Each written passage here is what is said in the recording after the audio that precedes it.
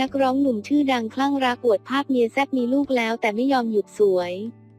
เป็นคุณแม่ที่สวยและเป๊ะอีกคนเลยจ้าสำหรับเบลคณิษฐาภรรยาสาวของนักร้องลูกทุ่งชื่อดังก้องห้วยไร่